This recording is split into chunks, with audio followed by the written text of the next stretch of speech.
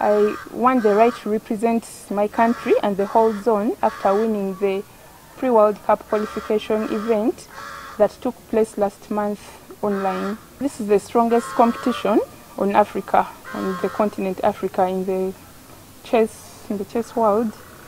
I'm willing to do anything that I can to battle with the ladies because mostly they are grandmasters, women grandmasters, women international masters, but I strongly believe that I belong there, I belong up there, and I will achieve what they have achieved. My main target is to be the second black African woman grandmaster because currently we have one woman grandmaster who is black. Although Africa has a number of, a number of woman grandmasters, most of them are Egyptians, they are generally white. It's going to be really, really hard. I'm going to have to, to do all my best to train, to work so hard, harder than I have ever worked.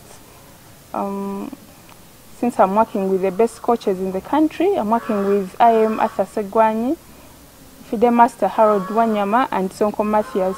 I believe that their training is going to help me so much in achieving the title of Woman Grandmaster and overall becoming the champion of the event.